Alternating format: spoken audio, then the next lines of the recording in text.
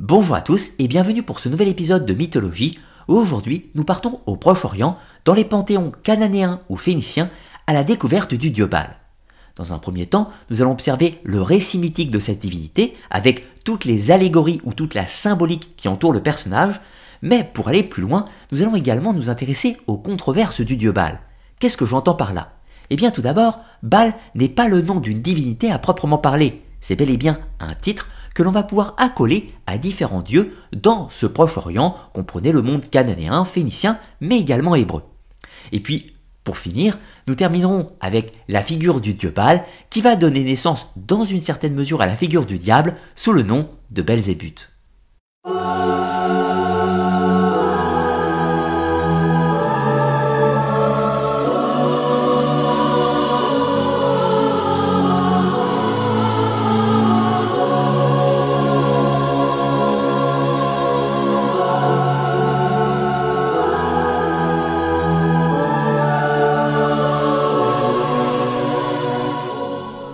La mythologie des royaumes phéniciens reste relativement méconnue, cependant il existe de nombreuses connexions avec les mythologies voisines, d'Égypte et de Mésopotamie.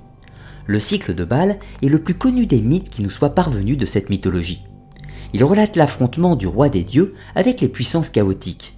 Elle, le dieu suprême, décide de laisser la souveraineté du monde à Yam, le dieu de la mer. Mais la décision ne convient pas à tout le monde et particulièrement à Baal, le dieu de l'orage l'Assemblée des dieux ne souhaite pas s'attirer le courroux du dieu suprême et décide à l'unanimité de capturer le rebelle afin de le livrer au dieu de la mer, qui s'empresse de le faire enfermer le fauteur de troupes dans une geôle. L'affaire aurait pu s'arrêter là si le dieu Kotar n'avait décidé de venir en aide au dieu Baal. Il le libère et lui fabrique deux puissantes massues afin de canaliser la puissance de ses éclairs. Baal s'empresse d'aller affronter Yam, il l'assomme d'un coup de massue et l'achève avec la deuxième main. L'Assemblée des dieux ne souhaitait pas attiser le conflit et proclame Baal seigneur des dieux malgré la décision du dieu suprême. Le règne du nouveau roi commence avec l'édification d'un majestueux palais sur le mont Saphon.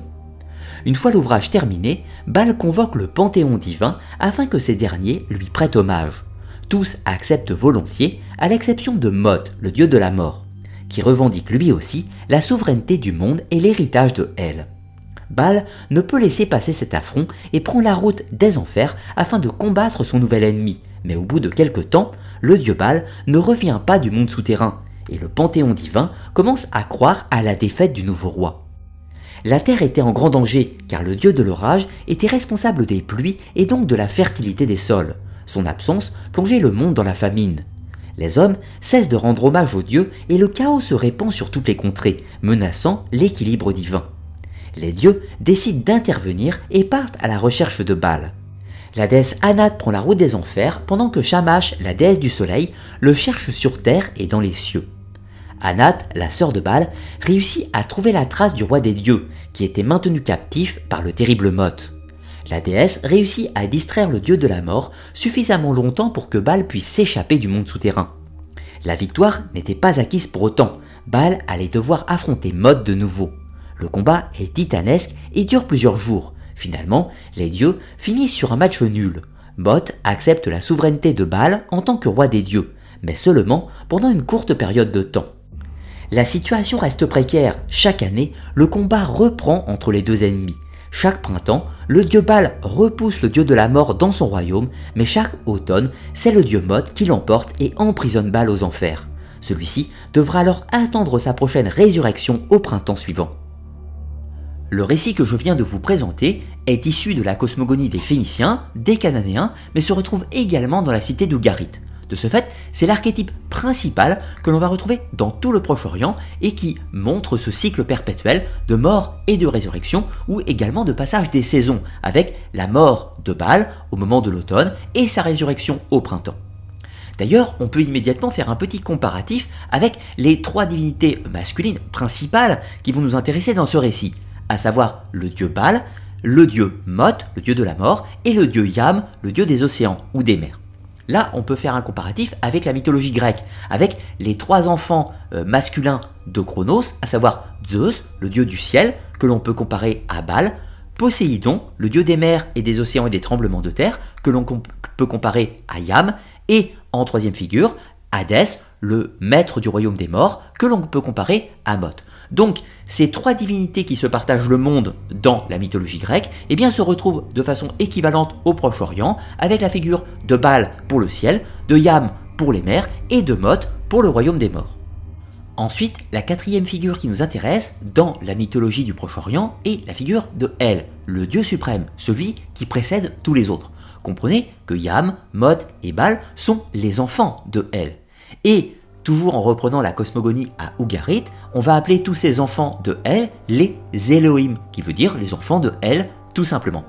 Là, on peut faire une comparaison avec la mythologie mésopotamienne. Le dieu suprême dans les mythes mésopotamiens est le dieu Anu ou An.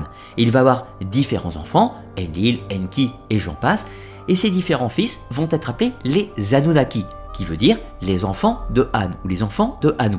Donc on voit encore un mythe équivalent au Proche-Orient et en Mésopotamie avec Anu et El et leurs enfants respectifs sous des noms variables, hein, Baal, Mot, Yam, etc. ou Enlil, Enki, etc. etc. etc. Donc là vous voyez tout, tout à fait la même construction. Ensuite, on peut faire une autre comparaison.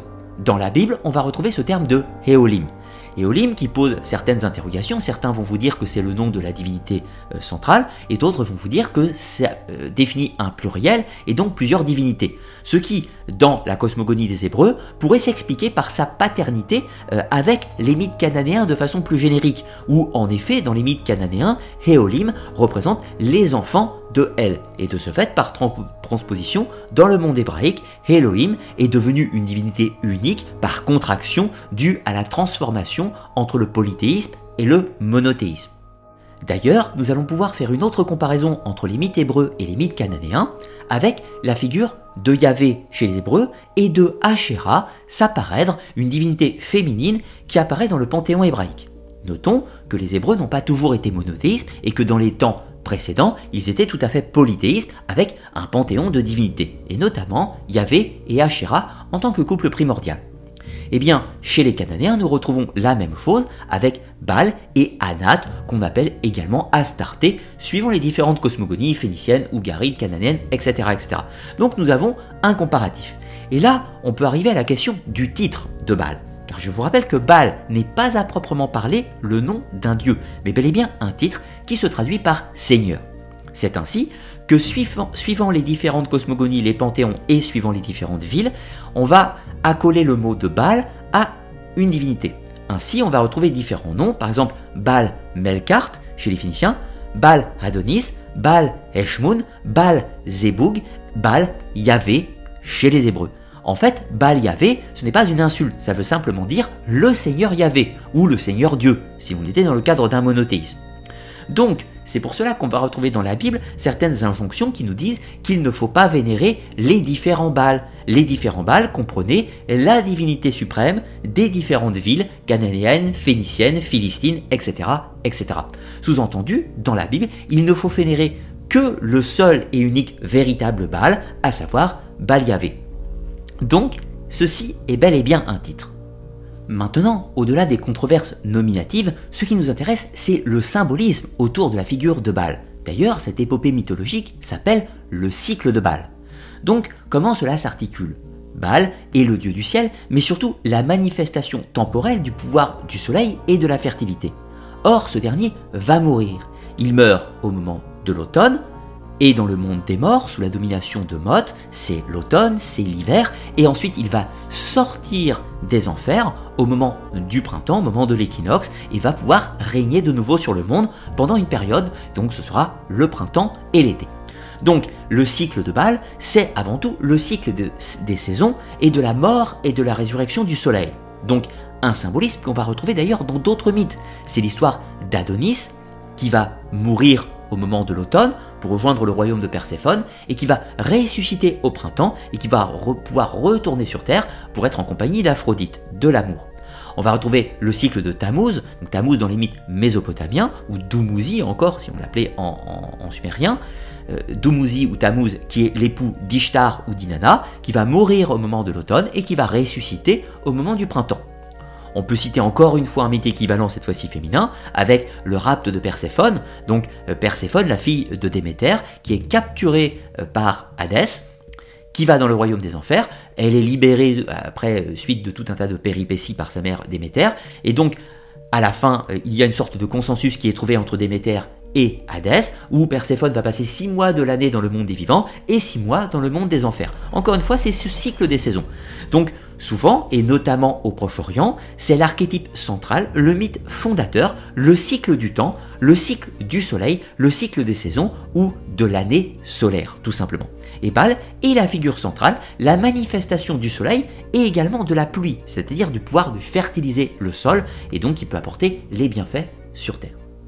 Pour pousser la comparaison, nous pourrions également faire une association entre le personnage de Baal avec sa mort et sa résurrection, avec le personnage de Mitra dans le mitraïsme ou le culte à mystère du même nom, mais également avec le Christ, Jésus-Christ qui doit mourir et ressusciter, même si toute la phase euh, symbolique se passe au moment de la Pâque ou au moment euh, de l'arrivée du printemps, si vous voulez plus simplement. Mais encore une fois, l'archétype central est fondamentalement le même. Et cela nous pose la question suivante, comment Belzébuth, ce démon, ce roi ou ce prince de l'enfer, puise ses origines dans la figure de Baal. Eh bien, comme je vous l'ai dit préalablement, Baal est un titre. Et chez les Philistins, qui sont un peuple ennemi des Hébreux, la divinité principale s'appelle Zéboug.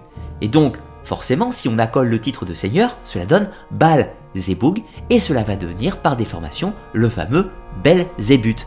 Eh bien, là, vous avez tout à fait l'illustration d'une divinité d'un panthéon polythéiste qui est devenu un démon par glissement dans le monde du monothéisme. Dans tous les cas, j'espère que vous aurez apprécié la découverte du cycle de Baal. Pensez comme d'habitude à liker, commenter et partager la vidéo. Et vous pouvez également me soutenir sur Tipeee si vous en avez le désir, ce qui me permet de continuer mon activité. Dans tous les cas, moi je vous dis à très bientôt pour de nouvelles vidéos, histoire, archéologie, mythologie, mais également sur les sciences occultes. A très bientôt